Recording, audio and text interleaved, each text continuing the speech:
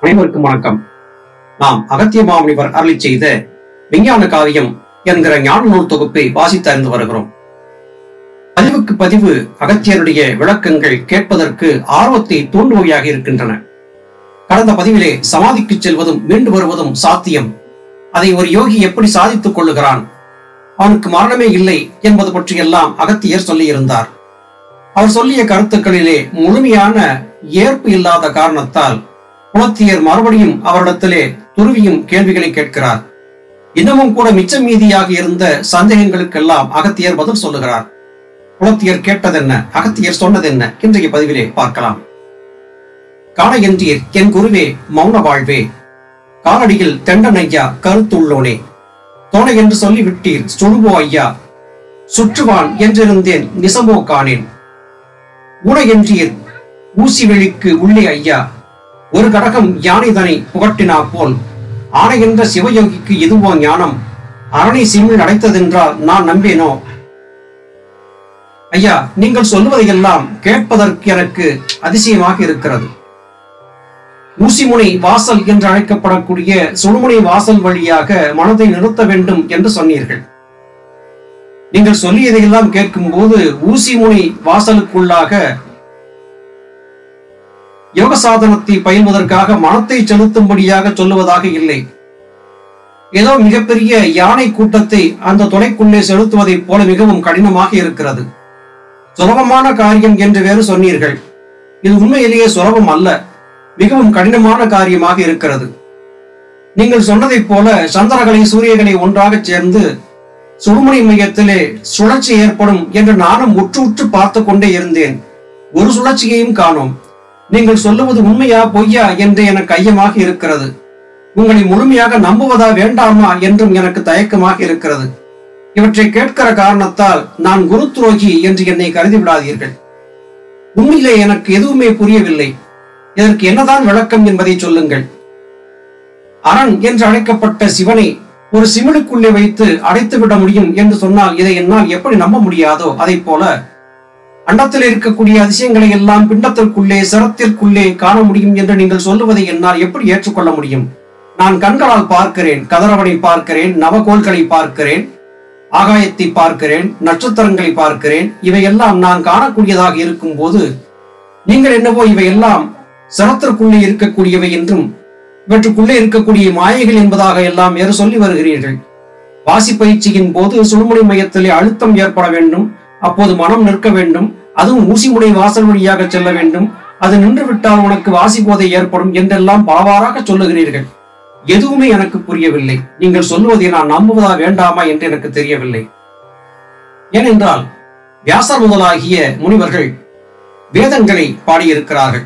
அந்த வேதங்களுக்கான உரடதங்களும் கூட பாடப்பட்டிருக்கின்றன. அவற்றிலே எல்லாம் சொல்லப்பட்டிருக்கக்கூடிய கருத்துக்கள் வேறு விதமாக இருக்கும் போது நீங்கள் என்னவோ வேறு விதமாக சொல்லுகிறீர்கள். இதை நான் நம்புவதா வேண்டாமா என்று எனக்கு குழப்பமாக இருக்கிறது என்று அகத்தியரிடத்திலே புலத்தியர் வாதம் செய்கிறார். நம்பாமல் போனதென்றால் புலத்தியா கேள். நான் வெறித்து சொல்ல என்றால் யுகமோ இல்லை. கொம்பாமல் வெறிக்க என்றால் வெள்ளையடில்லை குறுக்கி நாம் உரைத்து வைத்தால் சுடுவாம் பாரு எம்பாமல் உலகமதில் பறை செய்யாமல் இருந்த இடத்திலே இருந்து மௌனம் காரு சம்பானில் விளைஞ்சுதரா உலகம் எங்கும் தனை பார்த்து அறுக்காமல் இருந்துட்டாரே. மகனே குலத்தியா உன்னுடைய குழப்பத்திற்கு அவசியமே இல்லை. இந்த நூலில் இருக்கக்கூடிய விளக்கங்களை மற்றவர்கள் சொல்லி இருக்கக்கூடிய விளக்கங்களை எல்லாம் வெறித்து வைத்தால் ஒரு யுகம் போதாது இவற்றுக்கான விளக்கத்தை சொல்லிக் கொண்டே இருக்கலாம். ஆனால் எந்த தெளிவும் கிடைக்காது. பல பல நூல்களை ஆராய்ந்து பார்த்து அறிந்து கொள்ள முடியாத அற்புத ஞான கருத்துக்களை எல்லாம் தவத்தினாலே ஒருவன் அறிந்து கொண்டு விட முடியும். சகலமும் தனக்குள்ளே தான் இருக்கின்றன என்பதை புரிந்து கொண்டு விடவும் முடியும். நான் சொல்லுவதை கேள். உலகத்தாரோடு சென்று நீ கற்ற வித்தைகளை பற்றி பறையடித்துக் கொண்டிருக்காதே. விளம்பரம் செய்து கொண்டிருக்காதே விமர்சனம் செய்து கொண்டிருக்காதே. இதை பற்றி வாத பிரதிவாதங்களை செய்யாதே. இருந்த இடத்திலே அமைதியாக மௌனமாக அமர்ந்திருந்து இடைவிடாது. உன்னுடைய சுழ்மொழி மையத்திலே வளத்தை செலுத்தி வா. அப்படி செய்யும் போது மாத்திரம்தான் உனக்கு ஞான சித்தி என்பது கிடைக்கும். இது ஒரு நாள் காரியத்திலே சாதிக்கப்படக்கூடியது அல்ல. பொறுமை என்பது மிக மிக அவசியம். இவற்றையெல்லாம் ஏட்டிலே படித்து நீ கண்டுகொள்ள முடியாது. உன் தலைக்குள்ளே இருக்கக்கூடிய மத்தகத்திலே தான் படிக்க வேண்டும். அதை படிப்பதற்கு உனக்கு பொறுமையும் வேண்டும். உன் கர்மவினை தீரும் வரையிலும் காத்திருக்கக்கூடிய மனப்பக்குவமும் வேண்டும். இவையெல்லாம் இருந்தால் மட்டுமே உன்னால் இதை சாதித்துக் கொள்ள முடியும். மகனே இந்த உலகிலே பசிக்கிறது பசிக்கிறது என்று பலரும் கூப்பாடு போட்டுக் கொண்டிருக்கிறார்கள். அப்படி பசிக்கிறது என்று கூப்பாடு போடுகிறவன் சம்பாண்ணில் விளைந்திருக்கக்கூடிய நல்ல விளைச்சல் பூமியிலே இருந்து கொண்டு எனக்கு பசிக்கிறது என்று சொன்னால் இதை பார்ப்பவர்கள் பரிகசிக்கத்தான் செய்வார்கள்.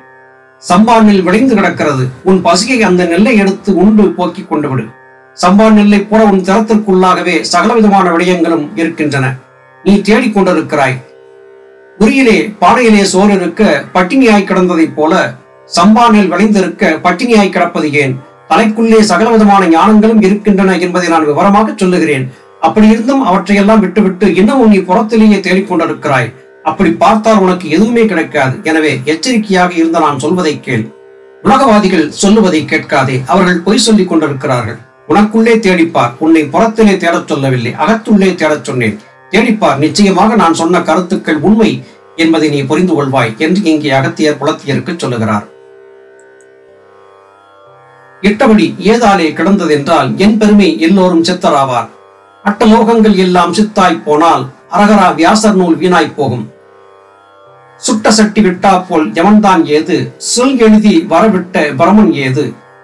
பட்டபடி ஈசனவன் உத்தாரத்தாலே பாடினான் வியாசனம்தான் வேத நூலே. புலத்தியா நீ எதை மனதிலே வைத்து இவற்றை கேட்கிறாய் என்பதை நான் புரிந்து கொண்டிருக்கிறேன். வியாசமுனிவன் தட்டும் தவறுமாக பலவிதமான விடயங்களை சொல்லி வைத்து விட்டான். நான்கு வேதங்களையும் உருவாக்கி கொடுத்திருப்பதாக வியாசன் தனக்குத்தானே தம்பட்டம் அடித்துக் கொள்ளுகிறான். இருக்கு யசூர் சாமம் அதர்வனம் என்கிற நான்கு வேதங்களுக்குள்ளாக சகலமும் கிடைத்து விட்டதாகவும் இந்த வேதத்தில் இருக்கக்கூடிய அனைத்து கருத்துக்களும் அல்லது இந்த வேதம் முழுவதும் சிவபெருமானால் தனக்கு கொடுக்கப்பட்டது என்றும் அவன் தேவையில்லாமல் புலம்பித் திரிகிறான்.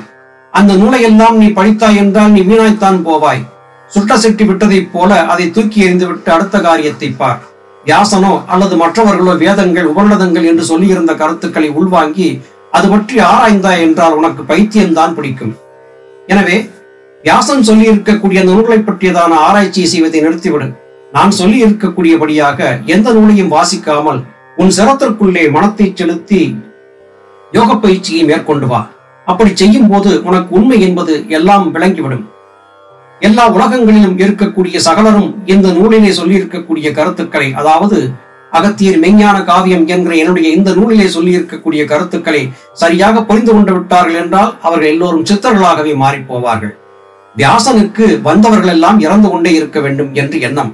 அதற்காகவே அவன் பொய்யும் புரட்டுமான கதைகளை சொல்லி வைத்திருக்கிறான். என்னுடைய நூலை படித்து விட்டால் எல்லோரும் சித்தராகி விடுவார்கள். எல்லா உலகங்களிலும் அனைவரும் சித்தராகி போய்விட்டால் மற்ற காரியங்களை பார்ப்பதற்கு ஆள் எங்கே கிடைக்கும் என்பதற்காக மற்றவர்களை எதையும் புரிந்து கொள்ள முடியாதவர்களாக பைத்தியமாக அடித்து அவர்களை அடிமையாக ஆக்கி வைத்திருப்பதற்காகத்தான் வியாசன் இது போன்ற நூல்களை செய்திருக்கிறானே அல்லாது இது எதுவுமே உண்மை இல்லை இதை புரிந்து கொள் என்று இங்கே அகத்தியர் புலத்தியருக்கு மறுபடியும் விளக்கமாக சொல்லுகிறார்.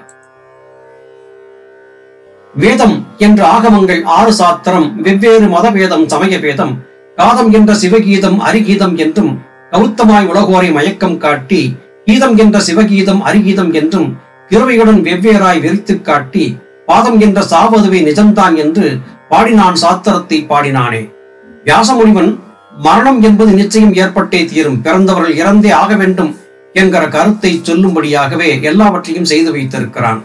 ஆறு சாத்திரங்கள் ஆறு ஆகமங்கள் என்று வேறு பிரித்து வைத்திருக்கிறான். ஆறு விதமான வழிபாட்டு முறைகளை எல்லாம் இவர்கள் சொல்லி வைத்திருக்கிறார்கள். சூரியனை வழிபடக்கூடிய கௌமாரம் சிவனை வழிபடக்கூடிய சைவம் சக்தியை வழிபடக்கூடிய சாக்தம் விநாயகரை வழிபடக்கூடிய காணாபத்தியம் சுப்பிரமணியரை வழிபடக்கூடிய கௌமாரம் விஷ்ணுவை வழிபடக்கூடிய வைஷ்ணவம் என்று ஆறு விதமான மதங்களையும் சிருஷ்டி செய்து அந்த மதங்களை சார்ந்து பலவிதமான வர்ணாசிரம வேதங்களையும் உருவாக்கி அந்த வர்ணாசிரம வேதங்களை உண்மை என்று நம்பும்படியாக மற்றவர்களுக்கெல்லாம் அதை சொல்லிக் கொடுத்து மிக மிக தவறான ஒரு காரியத்தை செய்து விட்டான். ஒருவரை தனியாக பிரித்து வைத்து நீங்கள் சிவிகீதம் பாருங்கள் என்று சொல்லுகிறான். மற்றவரை தனியாக பிரித்து வைத்து அவர்களை அரிகீதம் பாடுங்கள் என்று சொல்லுகிறான்.